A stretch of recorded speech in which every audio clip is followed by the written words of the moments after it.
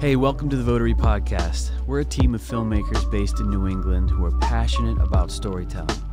We talk about the impact that stories have in every part of our lives, from business to culture and everything in between.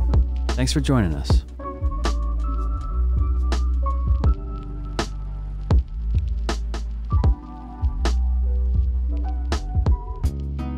Welcome back to the Votary Podcast. This is episode 21, and I am so honored to have a longtime friend, Andrea Ajemian, who is a talented film producer. And uh, unlike many in, indie film producers, you've made films people have seen.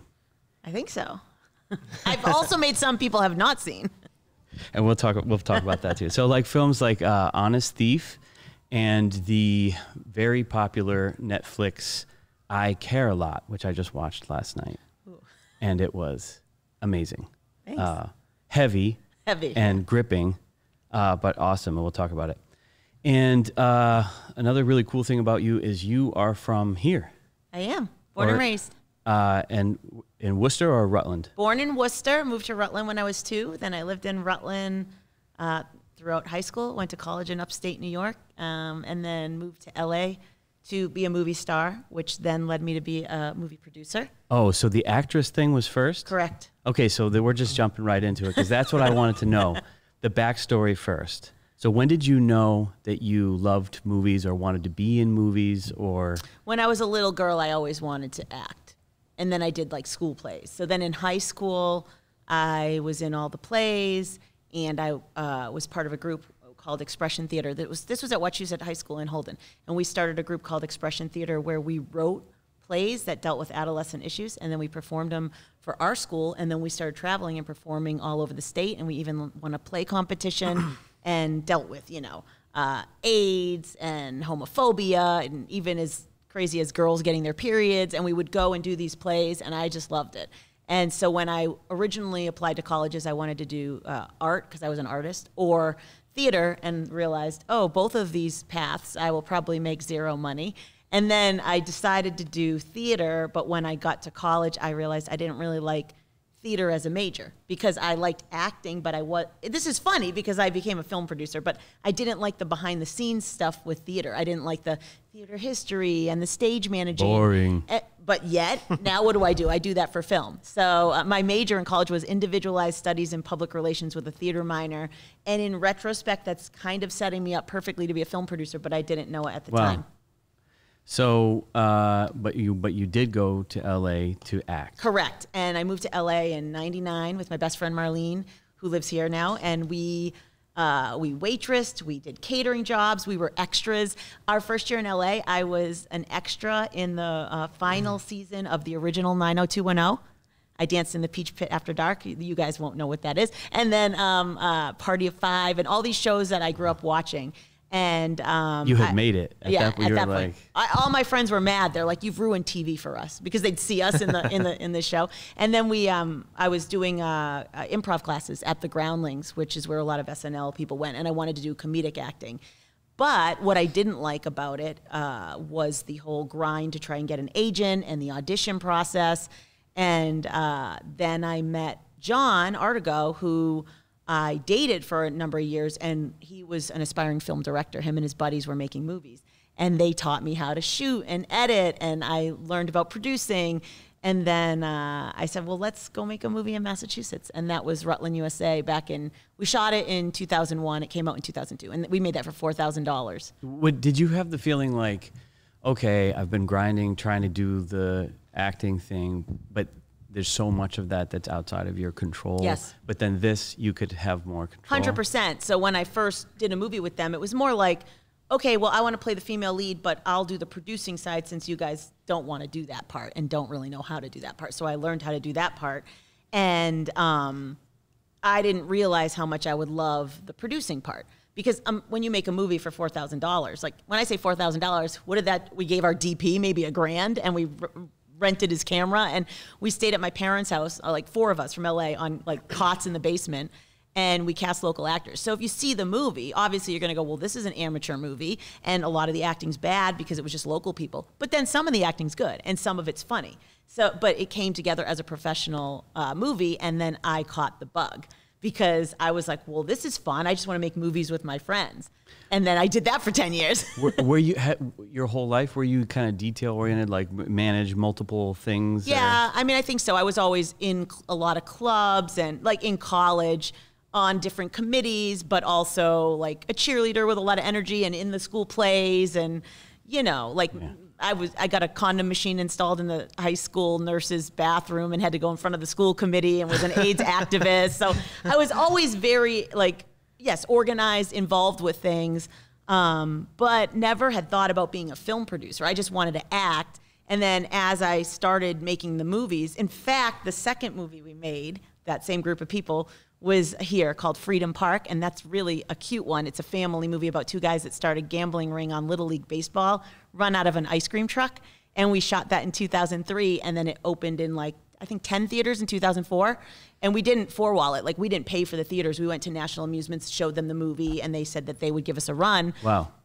And here's the cool story. This very building where Votary Films is located is where we had our movie premiere party at What? Maxwell Silverman's for Freedom Park. I That's feel cool. like we keep we keep meeting so many people that have their Maxwell Ma- Club Maxine. Yeah, so many Worcester people story. have life events that they affiliate, life yeah, event. associate with this building. That was in 2004. So we premiered at uh, Showcase Cinema North, RIP. I think it just closed. Yep, it did. Mm. Sad. Sad. And then we, we had the party here. Do you Can I- think? Do you think? I'm gonna segue for a second. Do you, Do you think? Because you just mentioned showcase. Do, do you think um, the cinema experience will ever come back, or do you think? What, what's your opinion on that, real quick, and then we'll go back to. I mean, I hope so. I, I, I understand. I, I don't know how any of the theater chains survived the last year with, you know, the, their rent must be astronomical or if they own the building. They just kept showing Star Wars. Uh, I know, like in my neighborhood, I live in Culver City right now in LA, and we have a um, ArcLight right in our neighborhood, and it just they just went out of business, and it's so sad because we used to Kaz and I used to ride our bikes there and like just go there, and now Amazon is is right next. Sony's on one side of it, Amazon's on the other, and I'm thinking someone's got to buy this theater and keep it alive. Like, come on, this this is where your offices are. Uh, but I, I think it'll come back. I hope so. I hope it's not just the big tentpole movies, but even if it is, maybe occasionally they'll play something else. We But- just we just went to see my whole family and a few friends just went to see um, Quiet Place Two. Oh. for the first time back in the cinema in more than a year. Yeah. and it's kind of cool because John Krasinski comes on in the, in the beginning and he goes. There you are sitting in the cinema seats, and I just want to thank you for coming out to the movie. Oh. Where- and he has this whole Oh, thing where, cool. he, yeah, he, where he's just like, we're meant to be together and watch things Just together and before the- about-" before the and that opening was it. credits? And there was no plug for anything other than just that was thank you. And that That's was so it right before the opening credits of the right, movie. bef- right before the movie starts. That's cool. And it was the neatest thing, and I was like, yes, that's how I feel too. Ah, well, I hope it. I hope it comes back and Um, Yeah. hope it survives. And I, I think that the, the the studios and the streaming companies should invest and keep it alive. I agree. You know? Hopefully, hopefully the public will demand it. Yes. Um, Can I ask a question? Yeah, please. So just to circle back to your journey into uh, becoming a film producer, you know, you said for that first movie in 2000 or 2001, you just had to figure it out, Yes, I didn't go to film school. right? So can you unpack that a little bit? What was that like for you? Like, what did you? What was that learning process like for you to like? Okay, we got to get a movie done, and I got someone's got to.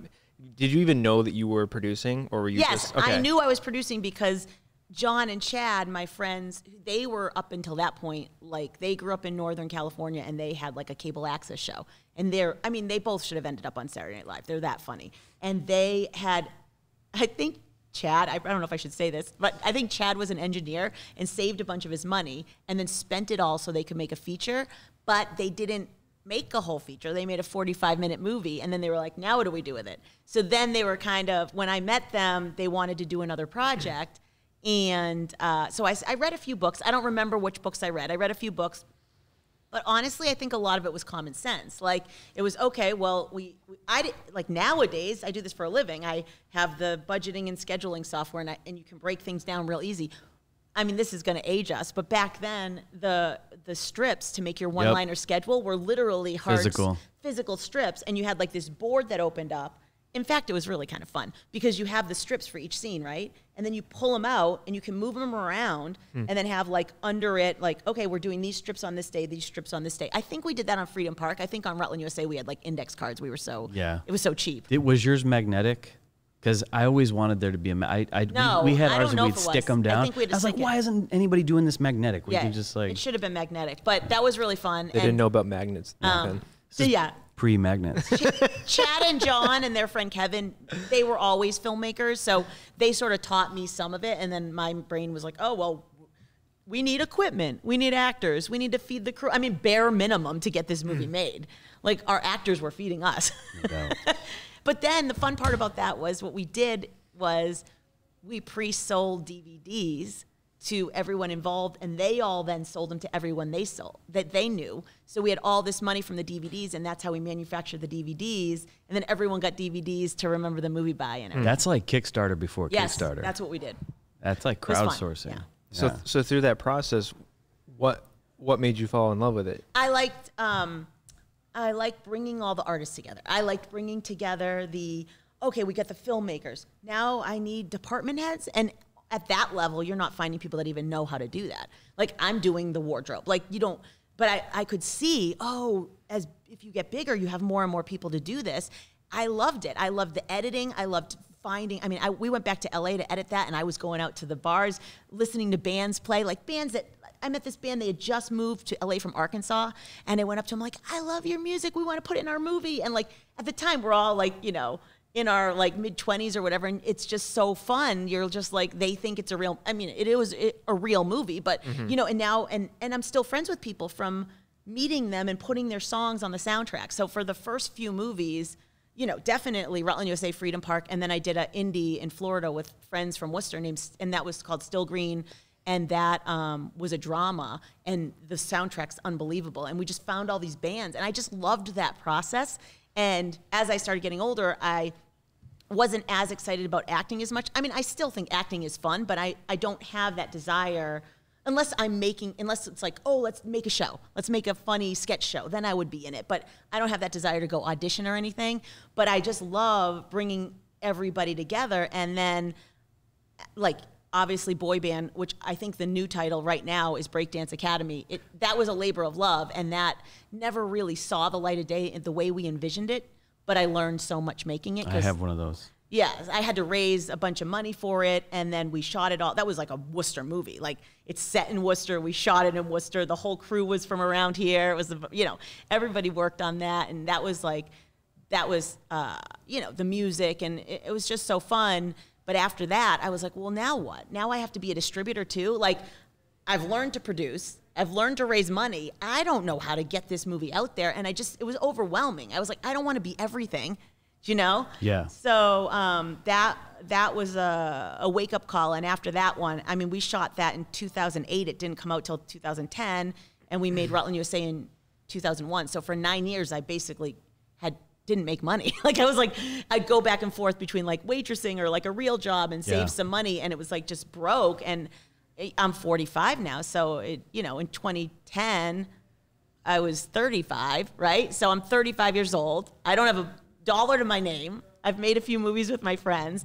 And then that's when I found out what line producing was. And I'm like, oh, I can actually, somebody else will pay me. I don't have to start the LLC. I don't have to go raise the money. So I met these guys and John Stimpson, who's based Yes. in Worcester, and he's a director. Uh, and he was doing, you know, he was about to start doing some like TV kind of movies. And I got in with them and, um, Didn't he take an office up above in the same building? I Yes. lured him there. Okay, I was. I wasn't so sure. Yet. our production office, when I had AA Films in Worcester, our production office was in the uh, printers building on Portland Street, and we lured J- John away from Waltham, Yeah. and he put his uh, office in. He's still there. He's still there. Yeah, but for a while we were both there simultaneous, and it was super fun because we would make movies together, and we'd just have both offices on different floors. But I did like seven movies with him. Uh, again, very small movies, like half million dollar movies that ended up on television that were uh, Christmas movies or like Women in Peril Lifetime movies. But I learned so much from them, right? Because when I was doing Rutland USA Freedom Park Boy Band, I was I didn't know the right way to do it. I was just doing it with my heart. And then when I was doing those, I was following more of a model of how professional movies do it, even though it was still low budget. So then when I got to the next level, Now it gets, I wouldn't say easier, but you um, have more people. Well, you suddenly were able to do what they wanted you to do with a with a budget, even though it wasn't a big budget, because you were used to micro budget. Yes, I was used to no money. Yeah. So now we might be paying our department heads minimum wage or something, but they're still getting paid. Yeah. And you still have like money to buy the set deck items and whatnot. So then um, I did that uh, for a while, and then when I wanted to get out of that bubble, because I'm like, well, I can barely pay my bills. I want to get out of this bubble. Kaz and I, Kaz, my fiance, we went to LA in 2013 and decided we were because we had been in Worcester from 2006 to 2013. Went out to LA, and um, I met with this company, Mar Vista Entertainment, who was distributing all those TV movies, and said, "Hey, I've line produced seven of these. Now I want to produce them." So I did four in a row with them. Three of them I brought back here. So wait a minute, with John, He didn't. He didn't do those. he didn't do. Okay, so that's pre Mar Vista. Mar Vista, the ones with John, Mar Vista distributed. Okay. But I was the co-producer, line producer. And were and were those all like indies that had you had to raise or someone No. had to raise them or they were already greenlit with distribution? They were Mar Vista was involved, but that you don't know when you make it if it's going to end up on Lifetime or nowhere or whatever. okay. Yeah. Okay, so there's money, and it's going to end up somewhere. The, the budget's there. Yeah. And it, and actually, it's pretty hard capped because there's only very so, hard capped. so limited as, as to where the So you get really go. good because you can't really go over your budget. So you get really good at it. And then when I went out to LA, I met with them and said, "Well, I want to be the main producer." Which I then brought three of those four. One I shot in this little town called Idyllwild, California, which if you haven't been, it's my favorite. And that was called Don't Look Back. Really cool filmmaker named Will Dickerson who uh, did a really cool uh, indie a couple years ago called No Alternative. That's very good.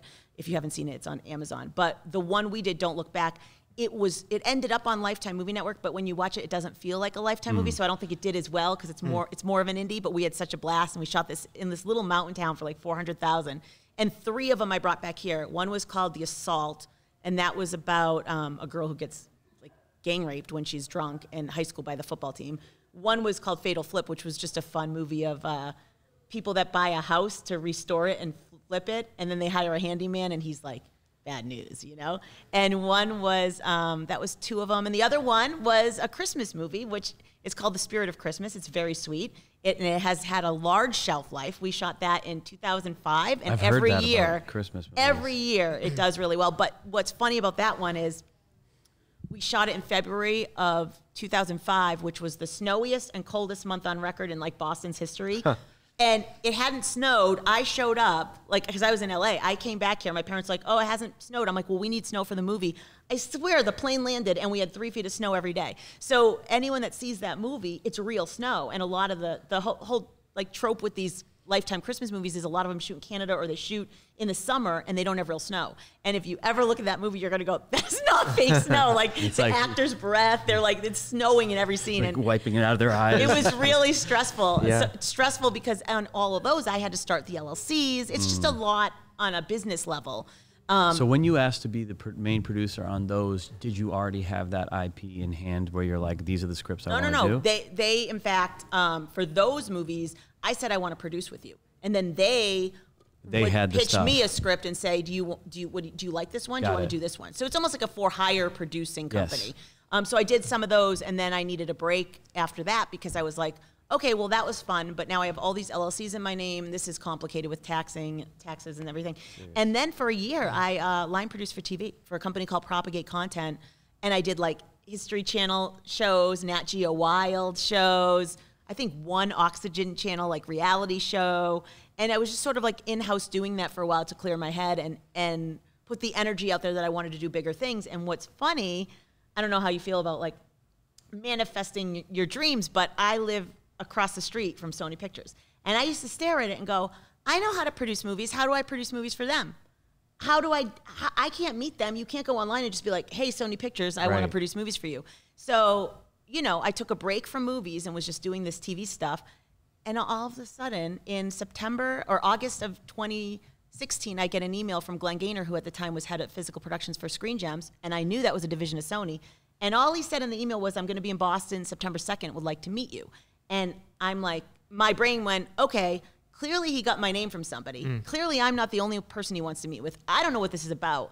But I wrote back immediately, and I didn't say I don't live in Massachusetts. I said, I'm currently in Culver City working on t- in TV. And he said, Great, come to the lot, let's have lunch.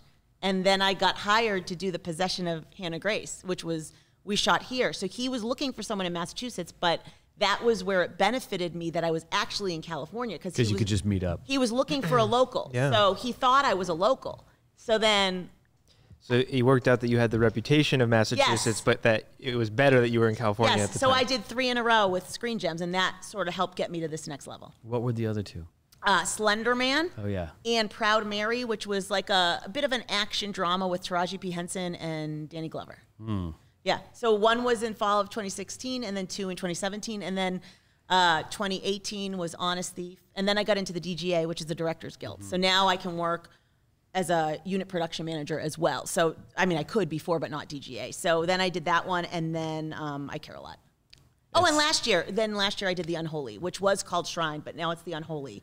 Um, and that stars Jeffrey Dean Morgan. And that was actually in theaters a couple months ago, but nobody was going to the theaters. And Is now it I, streaming yet? I think it's streaming, but I don't think it's on. I think you have to pay. uh, It's not like on Amazon yeah. or Mhm. Netflix yet. Yeah. That was hard because we shot that and then we had to shut down because of COVID and then come back in the fall and finish it. Oh, so it's a total gap. Yeah. Ugh. I've so heard- for production design and stuff, that's hard because you're shooting in February and March, and then you have to finish shooting in September and October. No, thank you. Uh, Um, it sounds like with each one of those um, companies that you've worked with, you've kind of learned a different style of producing Yeah. or like different role. What's expected of me, and like so. How? What's your advice to people that know that they have to grind, but they just are like dialed in on okay, well, this is the role. I'm just learning that role. It sounds like for you, you had to adapt. Yeah, I also didn't ever. Uh, I'm probably I don't know many people like this, but I never really set goals. Like I, I don't. Besides when I'm focused on I want to raise money for this project, that's a goal. I don't think I've ever set long term goals. So I sort of just go with the flow. So it was, you know what I mean? Like I was happy making no budget movies. I just didn't like that I couldn't pay my bills. Then I got into that TV movie world and I'm like, well, this is fun. I'm making movies. I'm able to pay my bills barely, you know. And then I was like, well, I kind of want to get to a higher level, but you know, I think people. You mean like people that maybe get out of school and they're working as a grip, but they want to be a director? Yeah, I, I just find that people ask me a lot of questions, even though I'm not anywhere near the same in the same world that you are. They ask questions about the track, the filmmaker track, and you're like, okay, well, let's just talk about the different roles first of Oh, all. yeah. And then and then it's just like it's just so confusing for people, and they they want to get to the place where they're they have a meaningful career, and they, I think people don't really realize how long it's going to take. Yeah. And how much you have to learn about the all the disciplines along the way instead of just dialing into just like this one thing. Unless that's all you want to be. Unless If- that's if- all you wanna be. If you want to be a key grip and you love doing that, you thing. can make a good living Right. being a key grip. Right. But you're right. If you want to do different things, um, yeah. I mean, I, I don't think there's any right, right or wrong way. Being in LA, I meet a lot of people that did it totally different than me. That they'll get a job as someone's assistant. Like they'll be a producer's assistant for four or five years, and next thing you know, they have a producer credit on a studio movie, and I'm like, holy cow! and it was a relationship. How'd they do that? Yeah, because they're they're grinding with this person so long, then the person trusts them and just throws it to them. Or you find out like, oh, this guy was a UPM and like me, and he had an assistant, and then he gets hired to be head of production at some company and takes this guy, and now that guy's a studio executive. So you hear those stories, and people make it happen fast. Or there's there's a lot of people that there'll be assistants on at somebody's desk and they're reading scripts for like a creative producer. And then their goal is to eventually be a creative producer and they do that track. Or there's the track where you start as a production assistant on movies and tv and then you're trying to find out what department you like. Mm. And eventually it's like oh maybe i want to work in wardrobe or maybe i want to work in camera. And then you work hard to get into a union so then you can i mean that could be your whole life. You can make a full mm-hmm. living doing that and be totally happy you know? Or if you want to do that and pay your bills while on the side you're making your short films hoping you know. Yeah. so that i don't think there's any right or wrong path. Mine was longer. I, I mean i think a lot of people have a long path obviously you and Yeah, i but yeah. some people do it faster because of their connections and who they know. Um, i didn't know people so you know it, it took longer but um, you know i mean i know so many people that are like my friend Kim, she's from Grafton, and she was living in LA teaching Pilates, and uh, I forget what else she was doing, but she had a, a flair for interior decorating. She loved it. So when I was doing one of my uh, Lifetime movies, I said, "Why don't you come be the set decorator?" And she was like, "What's that?" And this was when Brian Felty was the production designer, and she came, she did it, she killed it, and now she just won an Art Director Guild Award, and she's been nominated for two Emmys wow. for set decorating on Wow. Ozark, on the last few seasons of Ozark. Ooh, So it's like, nice. Thanks, Right? Love thanks that show. Andrea. No, but it's like cool. You just but don't know. awesome. Yeah. Yeah. You don't know. Like like that's something where like that's I think why I love producing too is to see the talent and go yeah. like she wasn't even thinking of doing that. And I'm like, you'd be so good at this. Like Yeah. and that's a little hard to do what she accomplished and it just has so happened that at the time the movies I were making were non-union. So I could get her in. And then I flipped to being union, and now she's in the union. You know what I mean? But nowadays, there's so much work with the streaming companies. It is not so hard for pe- young people to get into the unions and do that kind of role. So I have a lot of friends that are very happy in one discipline, but then I have other friends that they might work as a camera operator or a first AC, but then on the side they're making their short films because they want to be a DP. Mm-hmm. So you kind of see the grind, and everyone day does like a little bit of different path, you know. And then there's the people that they don't want to work on the movies; they want to write their screenplays and work at a coffee shop and be the broke artist. And then, you know, Yeah. and then I have friends who are full on like uh, software engineers, but they write screenplays that win all these awards at festivals and they're trying to have the break where one gets made. So it's Wow. just crazy. There's not, I think that's what makes it awesome, especially Yeah. with digital technology. There is no right or wrong path. I think you just have to look within yourself and if you're not happy with what you're doing, make a change. Yeah. Where some people feel so rigid, like I have to do this. Like I Yeah. mean, so many actors in LA that are not happy, right? They're trying to be an actor. And when I was trying to be an actor in LA, I saw these people and I'm like, well, they don't seem happy with life. What, you're going to do this for 20 years and not get to Tom Cruise's status and be miserable? I'd rather go make movies with my friends. So I think as long as you do it, what you feel right. I don't think Tom Cruise is particularly happy though. Not now. Mission Impossible, Yeah, they I just heard. shut down because of shut COVID. down. Yeah. Uh, I love what you're saying about like how many different avenues there are to get somewhere, and I found I've definitely found that to be true as well. Do you see? You know, it used to be that you would think about sort of like the Hollywood system and and this closed club kind of thing, Yeah. and then there's these indie bunches that are outside of LA, and you just you, you pull it together. Then the no budget, the no union, like everything you were just talking about. Is it still that way? Because you're kind of in both worlds, or at least you have been, or is it kind of in the modern age just a big melting pot of whatever goes with all streaming and everything? Uh, Or do you really see a cultural difference between different? Uh, I mean, I think there's still like uh, like sometimes I'll get a call. I just had a couple meetings for a possible project this fall, and it's a passion project. So it's you know they're doing it the old-fashioned ways, where the producer who's raising the money has a great reputation for raising money, but they don't have any studios attached, and it's just they're getting money from independent investors and financiers so that this director can make her passion project.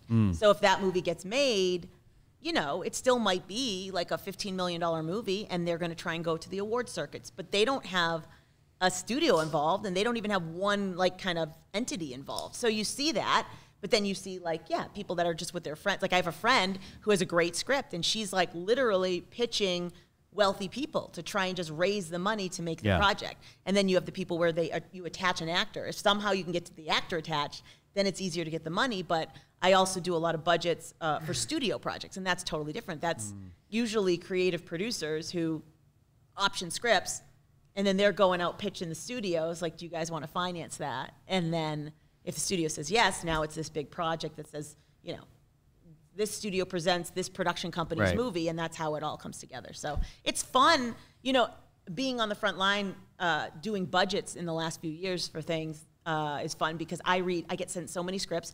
I read a lot of scripts for movies that I don't book or that they interview me and they like me, and then the lead actress backs out and the movie pushes. Or mm. I've done budgets for movies that then either the timing doesn't work for when they need someone to start, or I decide not to do it. But it's so fun when you see, like, sometimes I'm reading and I'm like, why does that movie sound so familiar? And I'm like, oh, I read that script like three years ago. so that's kind of fun too. do you like reading scripts, or is it like a chore? Or No, I like reading scripts. I'm, I'm a little stressed now because when I leave here, I have to read a script before a seven o'clock Oh, Zoom call tonight. Oh, gosh. But I think it's going to be a fast read. So when I get back, I'm staying at a hotel right now. So when I get back to the hotel, I have to read that script. But I like reading them. But some of them, yeah, some of them are harder to read than others. Like Yeah. comedies, I can read super fast. Sometimes, you know, like if I'm reading a horror movie, very- because I've produced three horror movies, it's hard for me to just live in it because my mind keeps going to the line producing aspect of, huh, like That this won't is work. VFX and special effects, and how long is this shot going to take? So I find for me personally that comedies are, or a straight drama, are the easiest to read, read yeah. because I don't, I don't fixate on all the little details. that's a perfect segue into my next question, which is okay. I need an honest answer. Okay.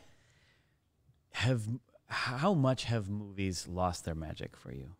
Oh, because I make movies? I I want to say they haven't because I'm like a hopeless romantic and I love movies. But I I would think they haven't.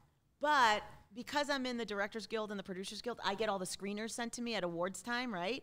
And I did realize in last night when I was thinking about this interview, I'm like, oh, the last couple years I haven't watched 90% of those screeners, but it's not because the movies have lost their ma- magic. I think because of COVID, I didn't want to watch anything dark. Mm-hmm. And a lot of the award caliber movies are heavy and dark. That doesn't mean they're not amazing movies. I just wasn't in the right That's just frame. a time period thing. That's I just like so. a, So I you need light for a little while. And I don't think they've lost their Good, magic. I, good. I, I don't get. I don't. I don't watch a movie and fixate on the production unless I don't like the movie. If I like Mm. the movie, I'm instantly taken in. So you so you will you'll get sucked in and you Totally. just forget about the making of it. That's why I wanted to make movies. I wanted to entertain people and take them away from whatever stresses they have. I wish that happened more often.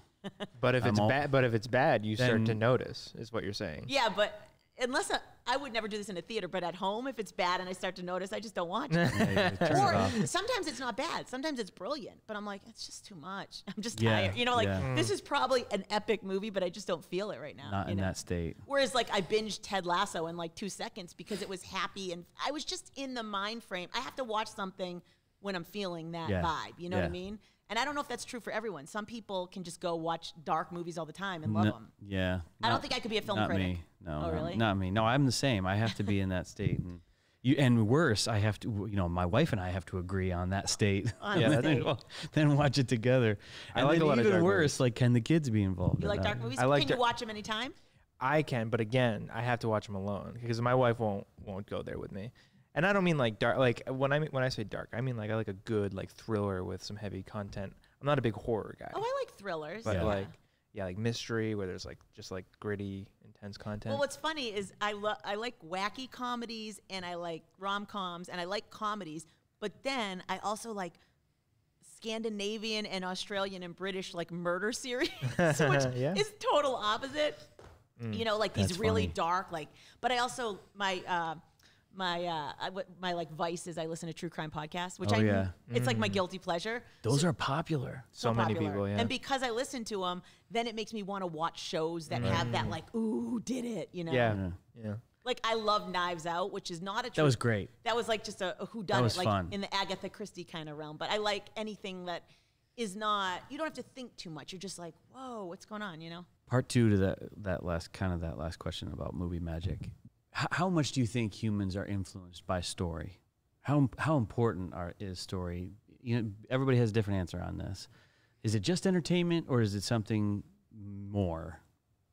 I think it's more.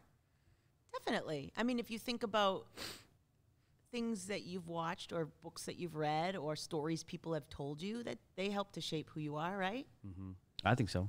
I mean, I just remember even just being in high school and performing expression theater and and people, you know, helping to change people's minds about certain issues that they might have been closed-minded to and then they became open if they didn't hear that story or meet those people. I mean, we all know people that might be like I don't know, against something that they think is wrong until they meet certain people. Mm-hmm. And then they're like, well, those people are cool. And, you know, maybe. Right. I think that's the way to have more acceptance and love is through people's stories Yes, meeting people. But I think there's a way to do it. Like, I, I personally, like, I think if you put positivity out there, then it, it comes back, which is why I did Worcester Love back in the day. Like, I wanted to promote the positive things, hoping that that would make people be positive. Wait, you know? quick break. What is Worcester love Worcester Love was my short-lived series uh, about the best places to go in Worcester and Worcester County. But we did this like 13 years ago, Kaz and myself. So we're the hosts. It's still on YouTube. So you you know the editor is gonna like inject a part of Worcester Love right there. hey, everybody! I'm Andrea, Hey, what's up? I'm Kaz. I'm Kaz. And I'm Andrea. Welcome to another edition of Worcester. Worcester, Worcester. Worcester Love. All right, let's check it out. do, do we have Worcester your Love is good. do we You have can- your permission Oh, to pull that from YouTube and put it A in? right- hundred okay. percent. But what's so sad is some of the places that we did the Worcester Love episodes about don't exist anymore, like the Halloween outlet. Mm-hmm. But what's cool is we did one on the uh, Buffalo Farm in Rutland, and my brother's high school buddy bought the Buffalo Farm in Rutland, and now there's a brewery there, Milford Yeah, Brewery. yeah. So if you watch the Worcester Love episode, that's like way before that happened. Oh, wait, wait, wait. There's an episode on Ed Hyder's Mediterranean Marketplace, which is still going strong, but RIP to Ed Hyder, who passed away. So he's the star of that video.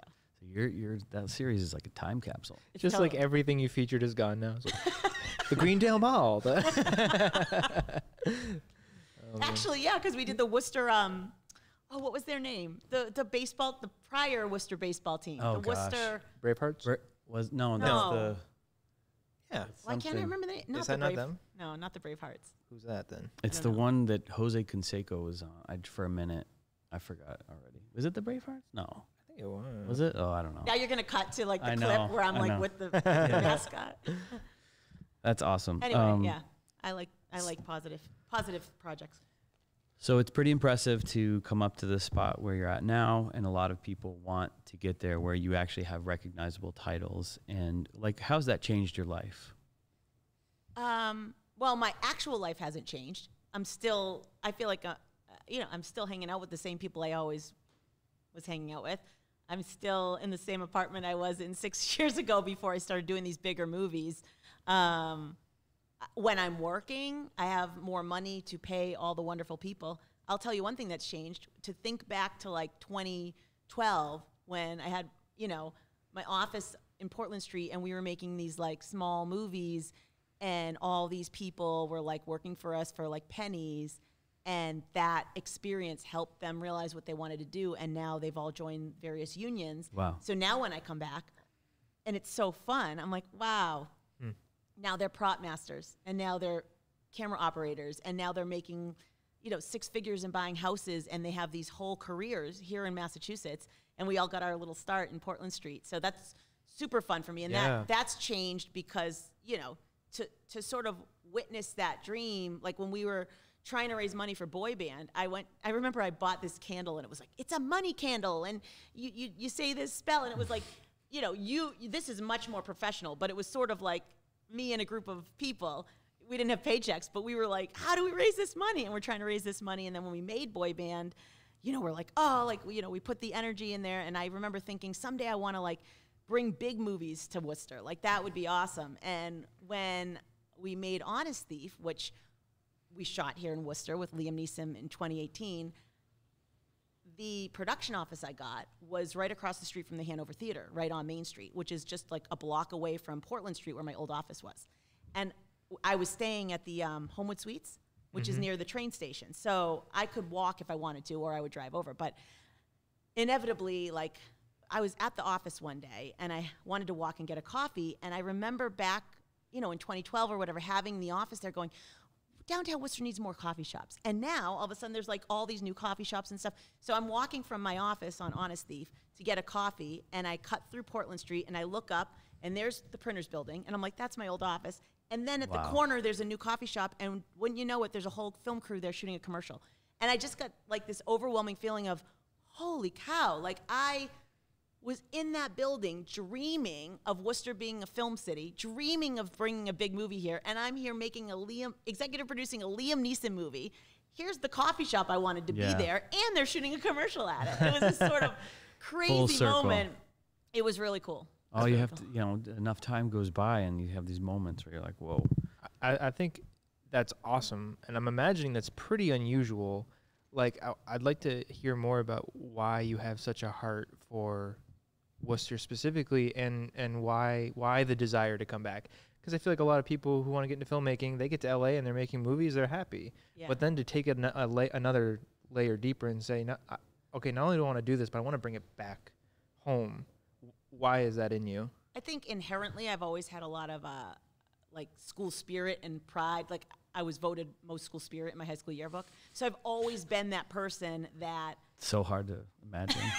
has a lot of energy and a lot of like you know I'm just a happy person and I and I like where I'm from and um you know uh, when I was trying to do Worcester Love or trying to raise money for boy band in Worcester you, you're sort of like envisioning oh like you know Worcester has so many good attributes and I just wanted to be part of helping to make it better and I feel like when we were making all those little lifetime movies or boy band or whatever it was helping to create a scene, which then you guys have gone and expanded of. I mean, you're making content, but you're still making cool projects and you have like the dream office that I dreamt of. So it's almost like an evolution of, mm. you know, and now there's film here and there's all these layers of different people making cool projects. And I don't know, I just always loved where I was from and I wanted to see it get even cooler, you mm. know? And I thought, well, if I could bring projects back here, that would be awesome. I mean, my first experience with film was I was playing in my neighborhood in seventh grade, and these, I don't know if they were Worcester State guys, but they were shooting this little horror movie down the street, and they're like, hey, do you guys want to be extras? And we, my friends and I had to run by and scream, and then my parents got, I think my parents got invited to the premiere, but we couldn't go because of the horror movie. And it was called The Hook of Woodland Heights. And I got an autographed script. And those filmmakers are still in Worcester, and they did like Attack of the Killer Refrigerator or something. But like, I remember going, "This is the coolest thing ever," you know. So for me to be that person that is not only bringing the movie here, but it's a big one, and I can now say, "Oh, you want to be an extra? We're going to pay you."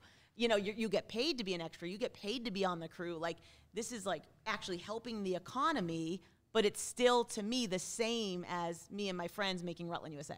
Wow. It's the same vibe. Hmm. It's the same thing. You know, yeah, we're not sleeping in my parents' basement, but you're still making. I, I don't get bored of it. I and the magic doesn't go away. Every movie, and I meet some people in that that might get burnt out or they might be complaining, and I think that that they're in the wrong industry. See, that's that's the reason why I asked that question because I've met those people too. or they're working for the wrong people. I'm fortunate that, and maybe it's what I try to attract, and maybe I pick the right projects. But is im- yes, do I want to make some projects that get acclaim and that help change the world? I would love to do that. But I also want to make projects that just entertain. But even more important, I want to make projects with good people because I like the process and I like to help people expand their careers. See, that's that's where we're getting that's at. a little that's bit kind different. of that's kind of your big why is Yeah. the people that you're involved with uh, in through the whole process, development, pre-production, in production, post-production. Yeah. Those you you have an influence on those people and you get to see their life play out. And I get upset when I check in with some of my friends who are on a different project and I say, How you doing? And they say, Not doing well. This project's really hard. My department head's emotionally abusing me. It's you know, hmm. and, I, and that makes me furi- infuriated. And my role, whether I'm producing or line producing, I am the person that is hiring the crew. Now, sure, is there sometimes when somebody like the studio picks the first AD or, you know, the director really wants this DP? Yes, but can I have influence? Absolutely. So I'm going to try and find people that are not only talented, but have the right energy and right vibe for that project. yeah, that's cool. So I think that that's a creative side of line producing that you don't think mm. is going to affect the project, huge. but it definitely affects the, ta- project. The, the the talent. When I say talent, I just mean all talent, Mm-hmm. not the actors, but like that's that's a huge thing. It's the culture of the film. the culture That's of the right. film. Yep. Yeah. So like when we did the Unholy, the, I mean Evan Spiliotopoulos, who he wrote Snake Eyes, which is coming out or just came out. He's just the nicest guy ever. Like that was his first directorial job, directing job, but he's a very successful writer, and he is such a lovely person that it was just so fun to work with them. I mean, it was just so crazy that, that then we had to shut down because of COVID and start up. It felt a little cursed, but uh, you know, when you make a movie called The Unholy, what do you Yeah. expect? You were asking for it. Well, that's awesome. Um, if you if you could change anything or where you where you want to go from here uh, about your career, um, what would it be? Where, where where do you? And it's awesome to hear that you you get to do what you love. Um, but is there is there anything that you aspire uh, to do from here? Absolutely. Uh, is uh, so I love what I'm doing right now. I love the line producing, UPM, executive producing work on these bigger shows. I want to continue to do that, but I also want to creative produce some projects too. So I'm always reading my friends' scripts, and you know, I think I I don't force things, so I have to wait till my brain feels like now I am ready to go out and pick because I have a lot of relationships now. So I have not started the whole let me pitch scripts as the creative producer to these companies and these studios. Um, I did a little of it, but not really. I'm not focusing on that. It's probably a good thing. But I- keep those relationships Yes. intact. And I do want to do that. Eventually, I want to be doing that. But I also love what I'm doing. So I like all different elements of producing, but I could see myself doing some of that too. And also maybe getting doing more writing too. Because I did write a script that got produced is like a, uh, I think it's on Amazon, but you know, it was made small. But I, um, I do like to write, and but and so I think that might be fun to explore or co-write with a friend or do something like that. I had no idea that you Yeah. like to write. yeah. That's awesome. That's really cool. Can Worcester expect some more stuff in the short term? I hope so. You want to hear something weird? So, okay, so I'll tell you the quick history of projects I've done just in Central Mass. Rutland, USA, we shot in 2001. Freedom Park, 2003. Then I went to Florida to do Still Green in 2005. Then Boy Band, we shot in 2008. Then, starting in 2011, since 2011, I've been some some sort of a producer on at least one movie a year every year since then in Massachusetts, sometimes two th- so far this year is the first year I haven't shot something in Massachusetts. So now what's interesting is I'm like, am I going to have a fall project? So I'm taking meetings now, but it's so weird. A lot of the things that I'm up for are like Atlanta, like Oregon, New Orleans, New Mexico, but Massachusetts is busier than ever. And I'm like, what's going on? So I did have I do have one company that they're deciding if they want to shoot in Massachusetts or Canada. Um, and I'm on their list if it's Massachusetts, and it's gonna be cool project. So if that happens, so I haven't booked my next project, but I'm, you know, in talks with different companies, and I'm like, I don't want to break the streak, but then I also know, you know, what what happens is you don't want to limit yourself and have people think that I only know how to shoot in Massachusetts. Right. Even though that's my passion, it wouldn't be bad for my career to shoot in Atlanta or somewhere else to expand that. No doubt. No doubt. I mean, I've shot. I just shot in Vegas. I've shot in various states, but not. I haven't shot in the. Besides Massachusetts, the big ones in the U.S. are like you know. I haven't shot in Atlanta. I haven't shot in New Orleans or New Mexico, and a lot shoots in all three of those places. So we'll see. Well, I think we should do something here. Yeah, definitely. Absolutely.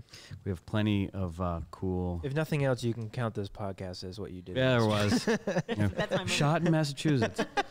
Uh, we have a lot of cool IP that's on. Some of it's been on the shelf for a while, and some is now just coming into development. So we'll talk some more. Nice. But you are so positive and fun to be around, and I think that's probably, I think it's infectious, and I think probably that's a lot of why you do attract what you attract. Thank you. and uh, and and you know you're you're a hard worker, and obviously that's huge. But I can tell that people like to work with you, and and your, hope your so. career shows that. So I try to work hard because I think if you work hard from the top and you put in the long hours, things go smooth. Especially in my job, things run more smoothly.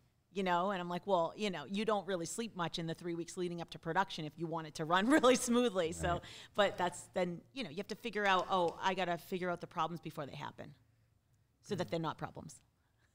perfect. Keep it, keep it away from the director. Except for COVID. I mean, I couldn't keep that away from the director. Wow, I don't think anybody anybody got away from COVID. Mm-hmm. No. Sadly, Well, I'd be remiss, and even if this doesn't make it into the edit, to not talk about I Care a Lot a little bit. Oh, did you watch it? Oh Let's yeah. do it. Oh, we watched it, and we even did a full podcast on it. What? Yeah. don't tell her that.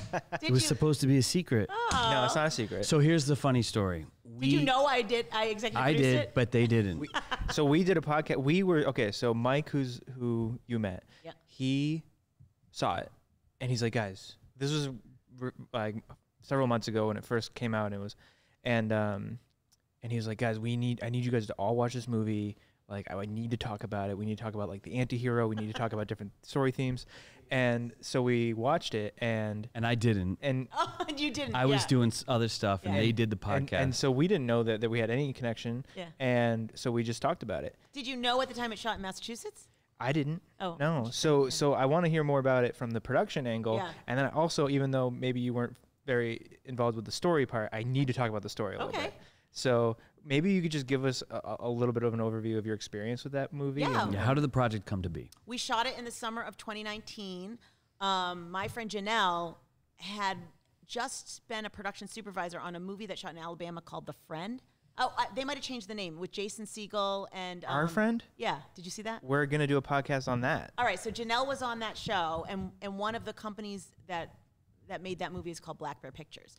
So then Black Bear Pictures was coming to Massachusetts with this movie I Care a Lot, and they uh, wanted Janelle to production supervise it, and they didn't have a line producer UPM.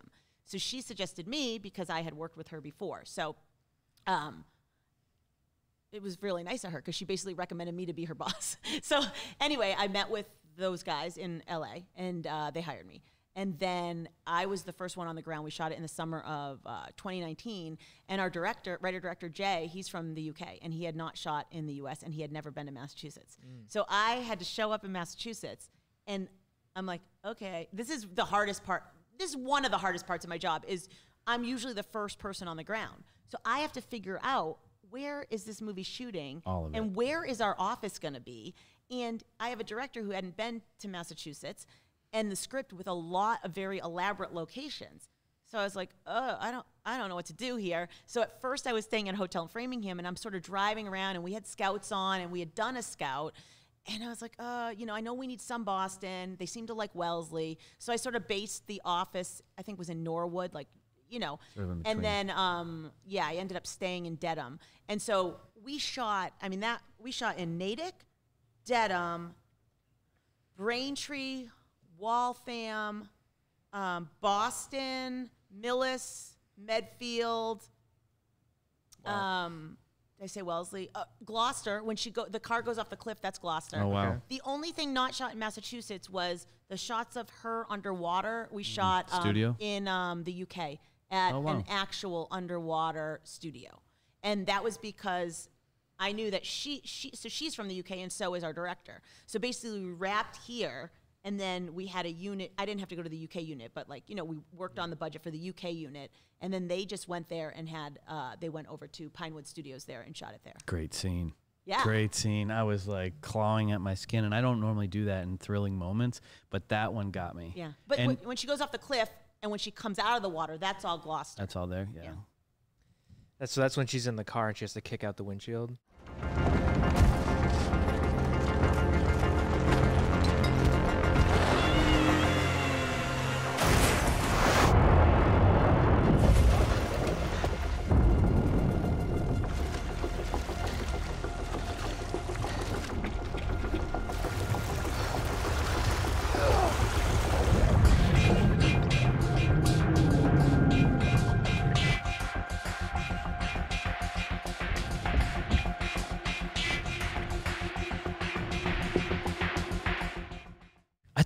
Thought an Yes. awesome edit choice in that moment was those um, dips to black. They unnerved me so much. Mm-hmm. Yeah. Those little dips to black in the middle of the sequence were so good. So so let me give you the the the cliff notes of our podcast reaction. Some people really hate it and some people like it, so well, you won't offend I'm me. so curious.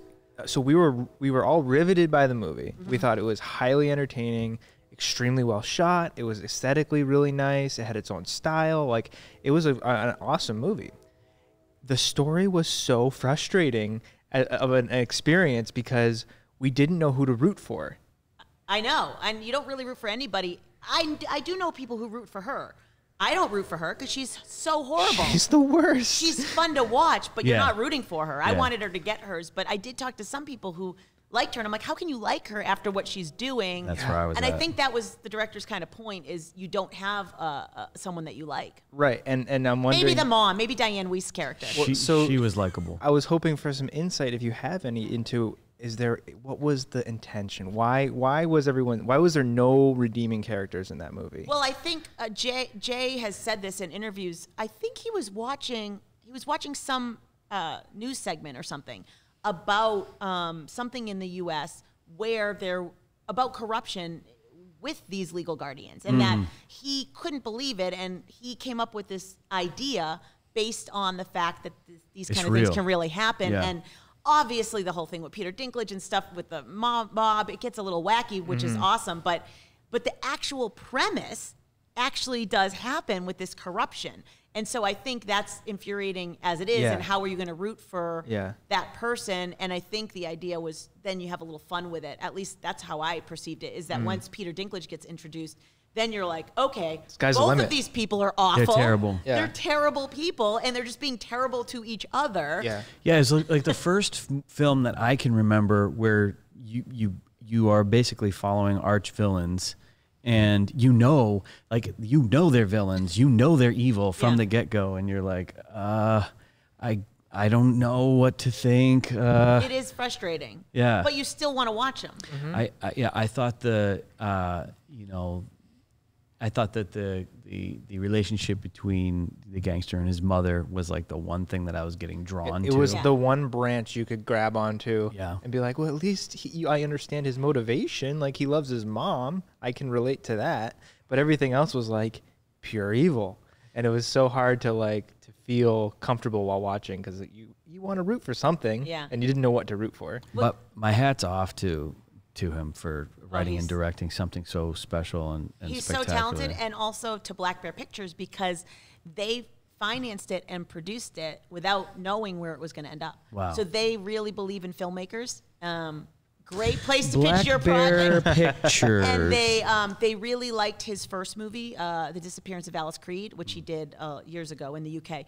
And so they really believe in it and, and just kind of, you know, believed That's in his vision for it. And then it premiered at Toronto, of course, at Toronto Film Festival the year no one can go because of COVID. And that's where Netflix saw it and picked it Oh, up. wow. So it wasn't originally made for Netflix. It was, so an, it it was, was a true fest. indie. Wow, it Yeah. really is an indie. Wow. Yeah, so that was a fun one to be a part of. And uh, Diane Wiest, you know, as someone who grew up in the 80s, she was the mom in Footloose. She was the mom in Goonies, I think, right? Yeah. Is that right? Yeah. so like I was just like, wow, she's a know. legend. She I was mean, awesome. And and Rosamund watching, I mean, I couldn't believe I we didn't know when she won the Golden Globe. I'm like, holy cow, like this is crazy. Like she got nominated, and at the time she got nominated, no one heard of the movie because it was right around when it was coming out. Her And then- performance was incredible. She's so good. Like Yeah. watching her, you're just like, you know, the, the fact that some actors can just turn it on and off in between takes is so fascinating. yeah. Yeah, seriously. But Peter, I get Peter's good too. yeah. Yeah. Um, I I was about to leave the film feeling just frustrated, Mm-hmm. and no spoilers, but the end did it for me correctly. Like and it we've brought me- thoroughly spoiled this movie on this Okay, podcast. all right. I didn't. I still haven't listened to that thing. So so um so I love the ending. I right. did actually. And some people told me they hated the ending, and I'm like, what? You want? You didn't want that I, cou- ending? I couldn't imagine anything else. No, at least I could go. Oh, she, she's off the face of the earth. But the, the the level of damage that she had done to that point, she built an empire on the enslavement of the elderly. Yes, like it was so so bad. bad. and I was like, she died. Yeah, she needs to die, but she should have died so long ago. like, yeah, but it, I mean, it, like what? Such an entertaining movie. That's Very. what it's there for. It was It- you know what I mean? entertaining, yeah. Like, Yeah, it was awesome. you want some Worcester trivia from it? sure. So uh, obviously, I'm from here, and I was executive producer UPM. Alicia Witt, who plays the doctor, she's a Worcester native. Oh wow. Oh. Yep, the redheaded doctor, Again, again But she's- another horrible human horrible being. human being. And then oh, she was she was great. What a she great was good. actress. Yeah, she's a good actress. And then there's uh, a couple of local actors that had minor roles who happen to also have minor roles in boy band. Celeste Oliva and Liz Ang have little parts in boy band, and then they both got cast in this. And I'm like, it's full circle. That's awesome. That's awesome. Yeah, yeah.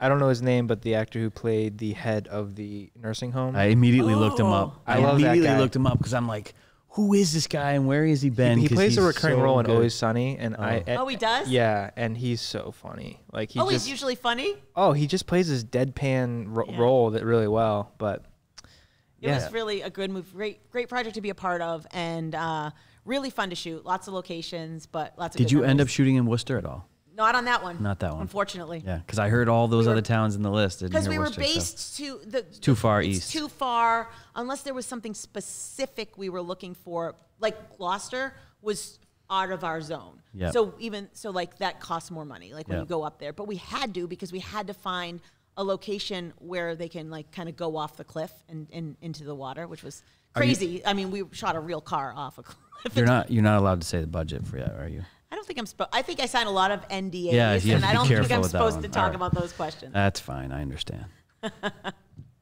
what else you got? you don't. You don't have any questions about Honest Thief that I shot went well. Worcester? So I was gonna go there. Um, I, I would love. I guess same question about that movie. I, I watched it. It was so interesting to see this street. like Oh, Like- all of Can you see votary uh, film sign? Almost. we didn't have the sign installed at the time of the movie. It Um, was looking up at the MHS. Yeah, Yes, and it was whatever funny. Like I had a hard time not being distracted by it because I was so looking for Worcester. If and you're then from and then I was like, sure. stop pretending this is Boston. Like, yes, of course. Everybody said that. But yeah, I mean, I'd love to hear just a little bit about Yeah. that. That Uh, so that movie, one of the producers, his name is Tai Duncan. He was a producer on Proud Mary, which I did for Sony. So that's how I knew him. So his company was producing um, Honest Thief with uh, the Solution Entertainment Group, and that's Craig Chapman and Myles Nestel, who now I know well. Long story short, in the summer of 2018, they needed someone to do a budget, and Tai suggested me. So I did the budget that summer, and it still wasn't officially greenlit yet. And they were they had Liam Neeson attached, and then I remember a conversation where they said, "It's just because that was like an independent, so they're raising money from I don't know where they get their money, various investors, film funds, whatever." So there was a, a, a moment where they said we were going to shoot it on the outskirts of Boston and a little in Boston, and they said the budget's just too much, and I said, "Well, how much do we have to shave off?" And they said about you know 400, 500,000, and I said, so then Kaz pulls up, you know, Kaz did this whole thing, found all these Worcester pictures. So I, I sent him to the director and I'm like, would you consider shooting in Worcester for Boston? We can get B roll of Boston. I said, in Worcester, production office space will be cheaper, hotels will be cheaper, location fees will be cheaper.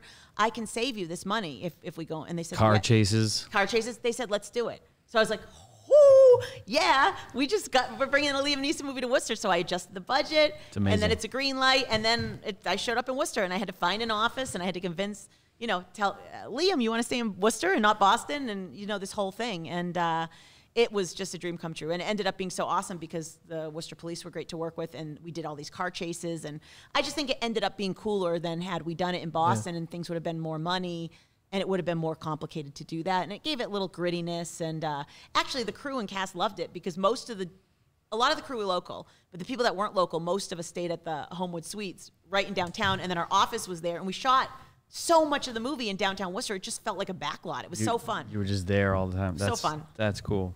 Yeah. And I did I read right that um, that that film was the first that reopened Open Road because I was reading Oh a little yeah, bit of yeah. They history with distributed them. it. Yeah, they distributed it. And also, I don't know if people know this. So our office was in I forget the name of the building. It's across from the Hanover Theater on Main Street. At the time, I think they had just sold the building or they were trying to sell it.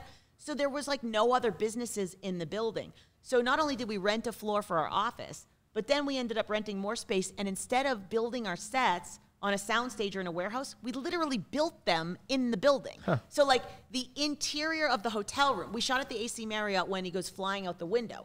But the interior of that hotel, we just built it on one of the floors in the office. The interior of the FBI office, we built that in there. Nice. So like there were so cool. it was it was so cool because we're like it was like almost like wow we're we're making this seem like a little stu- stage studio because we got the offices and the different sets on the different floors and uh, it, it was really fun and at the time and I don't know if this uh, bar is still open but right on Main Street like right below where the office was there was this little bar that opened and I feel guilty I don't know the name of it but the guy that owns it was an actor in Freedom Park. He played the role of Skull. And when I found I, his name is John Ronaldo, but forever I just call him Skull. And so because he's one of the thugs.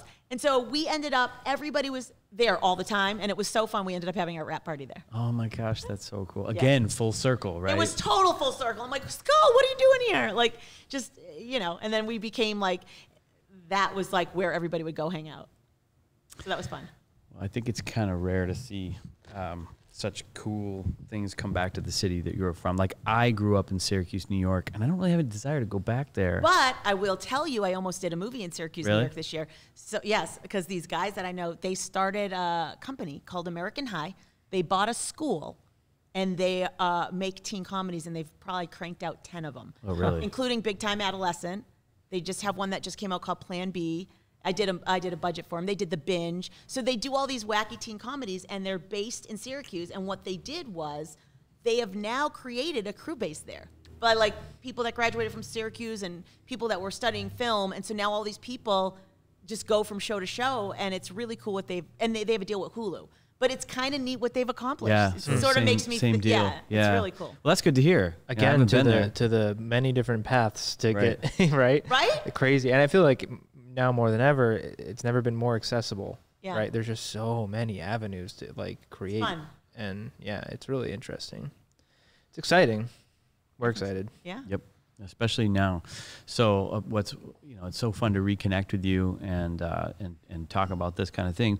Partially because we are so uh, ready and interested to basically you know go the way of an entertainment arm. We've been doing brand content for a dec- more than a decade now. and it's time to it's time to do it. So it's uh, it's really exciting to kind of delve into your world a little bit Well, let's collaborate. I'm into That's it. what, that's what we're here for, right? I'm into it. Yeah. Okay, cool. Thank you so much. This has been thank you. awesome. Thank Yes, you. This thank has been you. super fun. Thanks for having me. Yeah, and that's episode 21. Everybody, Andrea, Andrea, Ajemian, thank you so much for being here. Thank you. Peace. Yeah.